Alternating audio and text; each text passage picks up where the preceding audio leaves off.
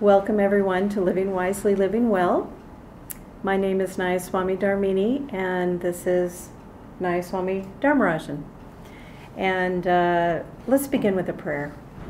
Heavenly Father, Heavenly Father, Divine Mother, Divine Mother, Friend, Beloved God, Friend, Beloved God, Great Saints of Kriya Yoga, Great Saints of Kriya Yoga, Jesus Christ, Jesus Christ, Babaji Krishna, Babaji Krishna, Lahiri Mahashaya, Lahiri Mahashaya, Swami Sri Yukteswar, Swami Shri Yukteswar, and Paramahansa Yogananda, Paramahansa Yogananda, Saints of all religions, Saints of all religions, we humbly bow before you all. we humbly bow before you all.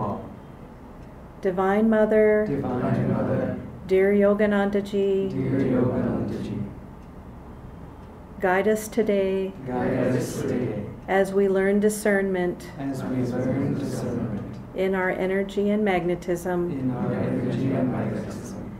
Help us to win the yogic battle, Help us to win the yogic battle, keeping the energy uprising. Keeping the energy uprising to the point between the eyebrows. to the point between the eyebrows. We long to be with you. We long to be with you. Take us home to thee. Take us home to thee. Om Shanti Shanti Shanti. So for today's Living Wisely, Living Well, I'll read what it says. The vibratory interchange between the sexes generates a strong magnetism. Maintain, therefore, a discreet mental distance from and minimize your contact with those of the other sex whose consciousness is sensual or worldly. As much as possible, avoid contact of the eyes or hands. A hand clasp creates two horseshoe magnets, the one upward uniting the upper bodies, and the other downward uniting the lower. With such people, take care to be centered in the self. You know, ideally, the message of this is about us being aware of our energy at all times. And that's what we long to do as yogis, that's what we strive to do, is to just be aware of ourselves, of our surroundings, of the flow of energy in our spine. And what is the biggest challenge for the yogi is to keep the energy flowing up the spine. And being around people of magnetism who are more of the sensual or more, more of the worldly uh, presents a challenge to us. And uh, Master talked about how magnetism uh, really is about, well, whoever wins the magnetism game, game, it's whoever has the strongest magnetism. So if we are around someone with very strong worldly or sensual energy and our magnetism is less, we're going to be drawn into their magnetism. And so the the awareness is have more energy to be able to stay in our own spines. That's really the bottom line of anything for a yogi. Now this brings up the thought of relationships in general between people of the opposite sexes and what is actually going on there and what is appropriate for yogis and for devotees at Ananda. And um, certainly, if someone is single and they, you know, tend to have a flirtation or something like that with another person who is single, sometimes it, it can't be helped. But basing a relationship just on that type of energy doesn't provide the glue for a long term relationship. When people relate to each other in the, a more sensual way, flirtations, touching, that type of stuff, when that happens, a magnetism is created between the two people. And ultimately, if they spend time together, they might find themselves inevitably wanting to just be together. And so, um, as yogis, single, uh, we want to be aware of who we are relating to. Um, again, you don't want to just be with someone where there's attraction. You want to be with someone you can be a good friend with in order to to really draw a mate for life. You want to be with your best friend. You want to find someone where you can have the glue of being the best friend. And, and if you have the karma for it, it's a very wonderful thing to spend your life with your spiritual partner. It doesn't happen for everyone, and that's when things get a little sticky in other circumstances. So sometimes, um, We'll have people come here who are married, who are very spiritual, but their spouses are not spiritual. And that's a type of karma that people just have to work through. Um, but, but what we don't like is when uh, someone who's married might become emotionally involved with someone who's not married. That's not what Ananda's environment is for. The reason for that, I think it's common sometimes in some situations for this to happen because someone's unhappy, they might have been matched with someone and it didn't quite work out, and so they might look outside the marriage for that type of thing. But in actuality, when we are in a relationship, when we are in a marriage, we've made a vow to be with that person. And very often it can turn around if the partners know and commit to it in a way. Other, while a relationship is happening, it is in process, it's not ended. And so you don't want to start, if you're single and you meet another married person, or if you're married and you're looking outside, don't try to uh, create some kind of a connection with that other person. It's not dharmic. Neither of your relationships are completed in some way. And so we don't want to have that karma on us. So that's just one thing. And and what will happen is when two, a man and a woman spend time together, especially sharing feelings about things, maybe perhaps about how things aren't working out for them as they like, a magnetism is created. And that's just what naturally happens between men and women. Now, you notice when you come to Ananda, we don't separate the men and the women. We rely on people to just um, use uh, whatever inner discrimination they have to do that. We don't have set rules about that. And certainly, we can be friends with people. But again, as yogis, we're keeping the energy up. Another relevant question about this, about magnetism, is where am I getting my energy from? And you know when you've had kind of a more uh, sensual uh, connection with someone is when you might feel a thrill. I remember the first time I heard that, and Acharya was giving a topic on a, a, talk on this very topic, and said a key to something that wasn't quite the way it should be on a yogic level is that there's a slight thrill or elation after the interaction. And so that's a clue that perhaps something was being related to in a different chakra rather than just from the heart. So we can be aware of that type of thing about how our energy is, um, about how uh, we relate to others. When we get a thrill or an elation, what we've done is we've taken energy from that person, and perhaps they've taken energy from us.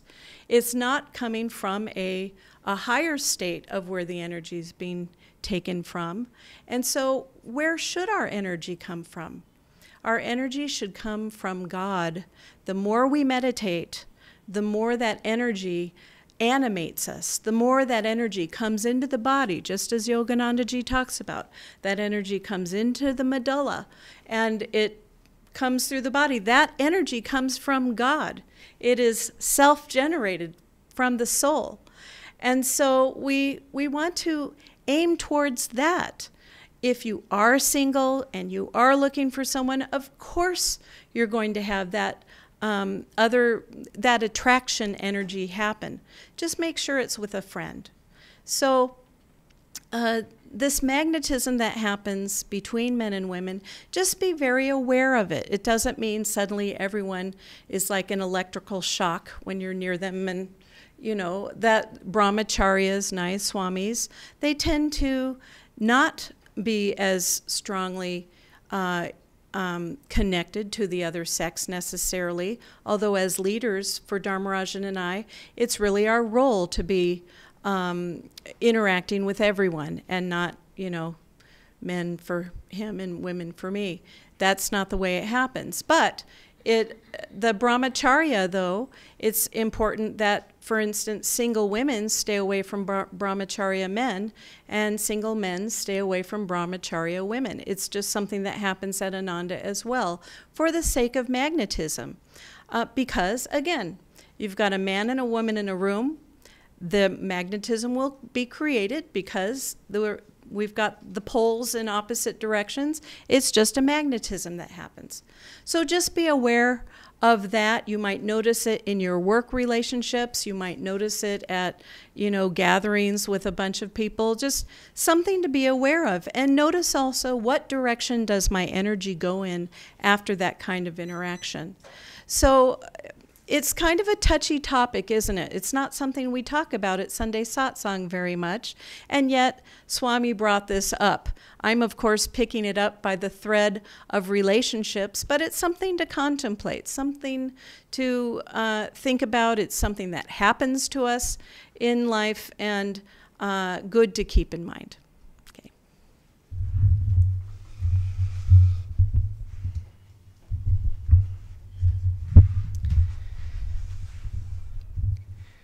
We um, have, as you might have heard during the prayer, a number of friends who are joining us here in the room.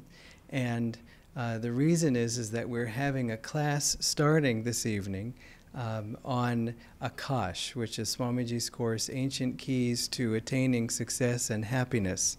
And uh, we are once again double booked. Actually, the past few webinars you've seen, if you've watched these recordings, you've heard us talk about, and there's also a class happening at the same time. You might wonder, you know, uh, is there are we ever not giving classes? Um, but the thing is, it's just that the this is the way the schedule works, both for the classes and the webinar. And for years, we resisted doing these webinars because of the schedule conflict, and then finally we gave in. And so we're very glad to be with you on the broadcast and to be with you all here. But the thing is that it forces us to sort of have to address, in this case, uh, two subjects. And so we saw the very important topic of magnetism between men and women that Swamiji wrote about and which Dharmini was just addressing. And it's very important, it's crucial. And what's funny is it often is dismissed. Uh, Swamiji, when he was with Master, um, uh, Master warned him because he, Swami, was editing Master's Bhagavad Gita commentaries along with a, a, master, one, a secretary who was not a devotee, but she was working with Master. And when she left the room, Master said to Swamiji, Be careful about the magnetism between you. And Swamiji said, Master, she's an old woman. I mean, he was 22, she was in her 60s. I, I think he wasn't too worried. But Master was very serious, and he said, This magnetism is very strong. And it's uh, basically, she's already forming an attraction and a fondness for you uh, as if you were her son. And so the most important thing when we think ah, it's not a big deal or I can handle it or no, I mean no, I mean I'm I, that's that's not anything I have to worry about is that this energy is not rational. And it can't be outsmarted. It is fundamental. It's almost as fundamental as when you know uh, you're in danger and you pull away just to protect the body. That's the first chakra. The next chakra is the one we're talking about, and it's just very much a part of our nature. So I don't mean be paranoid and I don't mean be uh, suddenly awkward, but when you think, uh, I don't have to worry, that may be the time to take a deep breath and maybe go for a walk and, and so on. Uh, another option is to, as Dharmini said, when two people are alone in a room, it's nice to maybe bring a third person, and that kind of breaks the energy up a little bit and so on. Because all that men, the reason for the attraction, got to keep an eye on the clock here so I do not embrace eternity with this talk. The reason for the attraction between men and women is because each is seeking completion in himself or herself. And there is a natural strength, usually, that one has that the other is seeking, and vice versa. And so it's, it's actually, a, there's an important spiritual lesson in it too. But that completion ultimately has to be found inside. Even if we're married, even if we are, as she said, with our best friend, still that other person can help us to develop that balance in ourselves. This is what Master said that each brings out the hidden strength in the other. There's the obvious strength, but then they we seek the other person because they have perhaps a strength that in us is still hidden even for our, from ourselves. So I would like to also broaden this talk a little bit now to magnetism in general, picking it up from where Dharmini started about the horseshoe magnets, and there is a magnetic exchange between everybody, actually. This is one reason why in India the pranam or the pronam or the namaskar is such a wonderful uh, way of greeting because each person maintains their own integrity while still connecting. I mean, you could say, why bother with that? Why not just say, hello, nice to meet you? You know, and so on. But no, it's nice to actually acknowledge the existence of the other person. It feels like actual, you know, there's something being exchanged. But this is a nice way of keeping your own aura strong. And the handshake, on the other hand, uh, is this creates this exchange of magnetism. And as she said, quoting Master, the stronger magnetism always wins out. And so, as devotees, we are developing our spiritual magnetism and so on. And so, we don't want to be afraid to challenges to our magnetism, but we don't also want to be unaware. So, when you are in a particularly difficult environment or with a particularly difficult person, then uh, there are certain things you can do to protect yourself. The first thing is before you're going into that situation, whether it's a difficult boss or a difficult client or a difficult aunt or uncle, that you sort of pray in advance for the situation. So Haridas Ji in Bangalore calls it pre praying. It's sort of like prepaying, but pre praying. So you pray that Divine Mother be in this situation with me. Okay, I'm going to be there. I'm going to be in his house. He's going to offer me the coffee, and then he's going to start shouting. And so when I see the coffee, that's going to remind me of you, and then I'm going to just be okay because it's all a show or something. In other words, you know, positive visualization. I see myself surviving this. You see? Because it may be like, no, no, no, I will say the perfect thing that will silence him, and that rarely happens. Somebody who has not been in the mood to be silent all these years is probably not going to suddenly be silent now. And so it's just that uh, you can also, in the prayer, it will make you stronger and also make you not feel alone. Another thing is to do Om Tat Sat. You can take your hands and clap them in front of you and in back of you, which is hard to do when sitting in a chair, and say Om Tat Sat, or I say it with American accent. It's more like Om Tat Sat.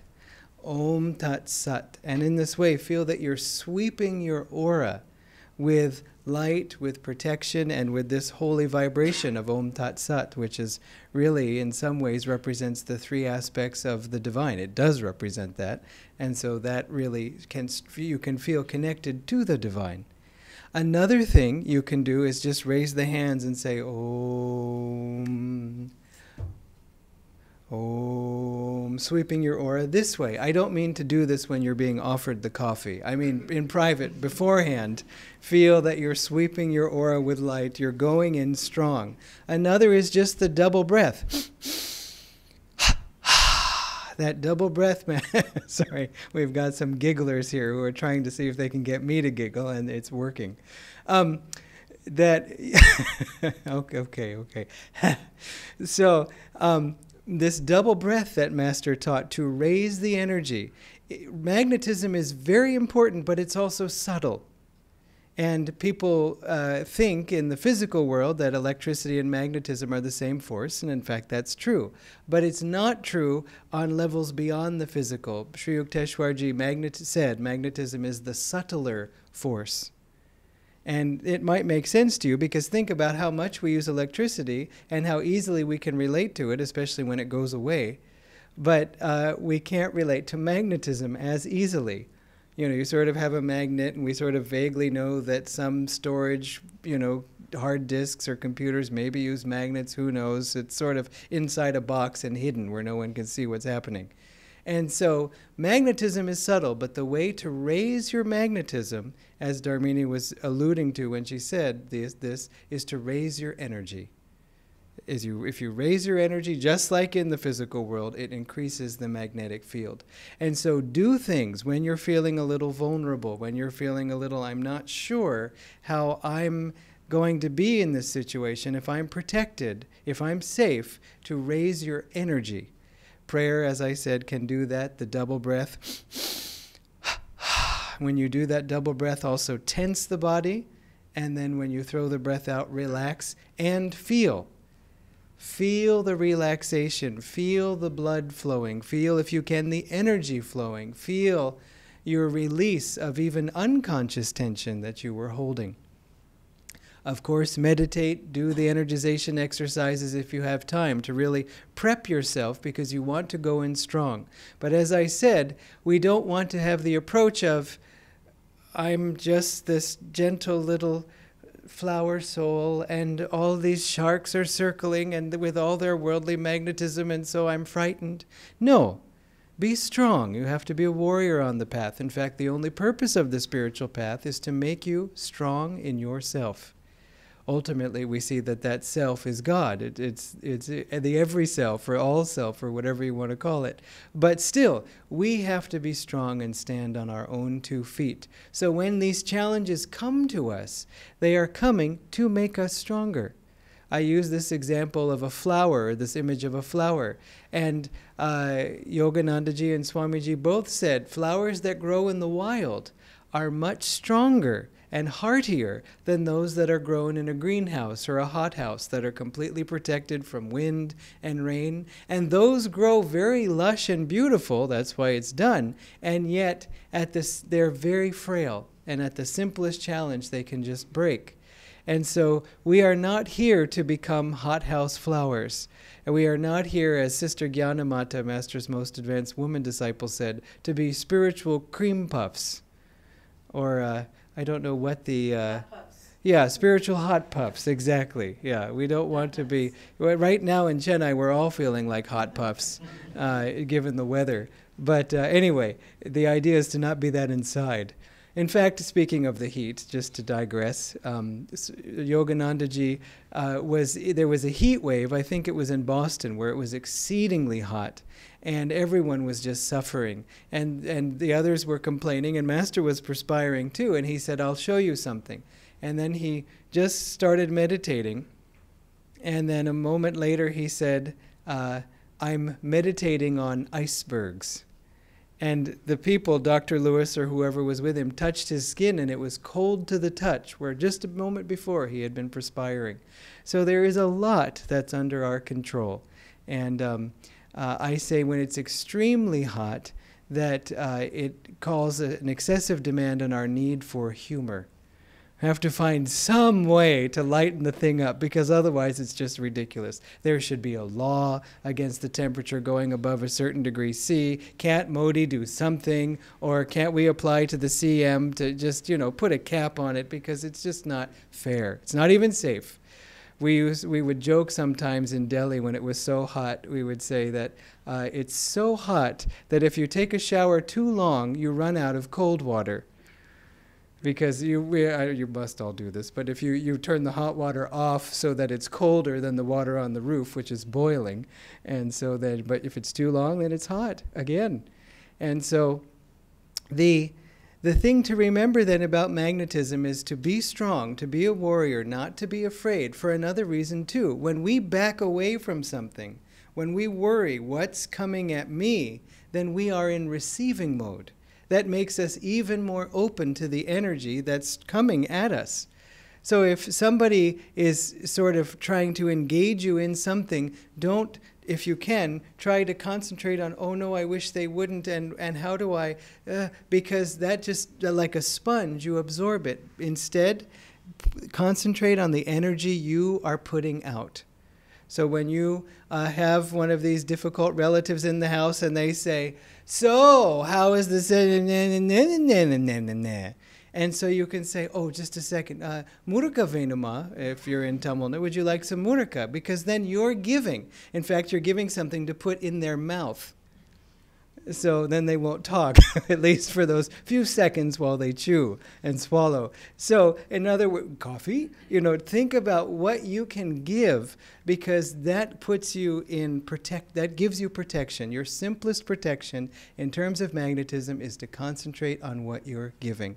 When somebody comes to criticize you, let them go on as long as they need to, which is usually about a second and a half maybe two seconds, and then say, Oh, so, um, how's your new job? Or how's your child? Or did you have a nice trip to Singapore? And I wanted your opinion on something. This is something Swamiji said all, in all seriousness. When someone is just aggressively wanting to talk, and this can happen when we know we have a meeting and we have to say something.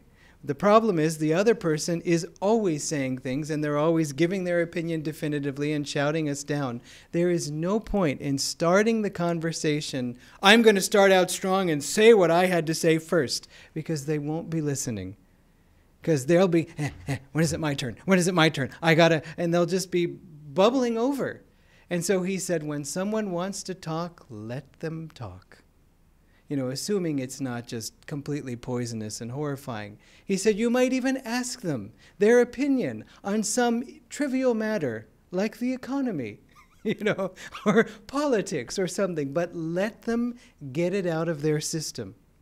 And meanwhile, while they're doing that, you can be planning what you're going to say or if you if they know the meeting is on a topic and they're saying okay this is why it can't work and they're you can be carefully planning your counter strategy or you can be thinking of reasons and mm-hmm mm-hmm mm-hmm is it? Uh-huh mm-hmm. Meanwhile you're figuring out what you're going to say back and they're very content to go on and on and on and so use that time wisely. Now, what about in another situation? Swamiji talked about once he got into a fender bender, a little, a minor car accident with another car. And uh, this was, I think, in the 1960s. And the man came out of the other driver, came out of the car and just flew into a rage and was screaming at Swamiji. There was no apparently, I mean, he first said, Swamiji said, Are you okay? And I am so sorry. And I don't even think it was clear who hit whom or whatever. But the man was just raging. And Swamiji felt that temptation that, oh my gosh, he's screaming, he's very threatening in his demeanor, but let me not tense up.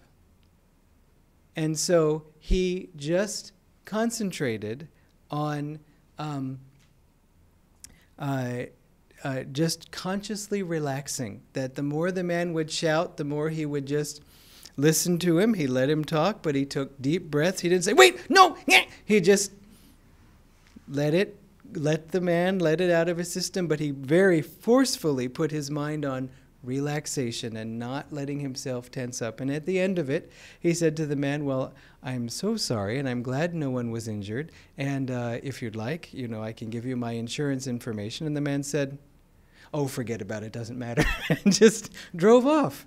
You know, he had nothing to fight against, and he had let it out his fear or whatever it was, and then said, okay, it's over. But if Swamiji had shouted back, who knows how the story might have ended. And so keep this in mind also in life. Swamiji gave us this principle for strengthening our magnetism because we don't want to be too tense. When we're tense, it can feel like energy, but it's a thin kind of energy and it's not resilient, it's not strong. Strong energy is calm and relaxed because we're not wasting energy in tension. That energy is instead with us and ready to spring into action when we need it. When we're completely tense, then we have nothing left. And so he said, when you feel yourself tensing up in a situation, he said, I observed it when watching uh, move, the movies of Alfred Hitchcock, of all things. He brought it up, trying to connect it to people. Uh, he would direct very suspenseful and scary films. He said, I could feel the music, the angles, the surprises, all trying to build up tension in me as an audience member, and I refused. I consciously made a point of relaxing, feeling that tension or that temptation, and undoing it right then in that moment. He said, and then when the big climax came and the whole theater went, ah!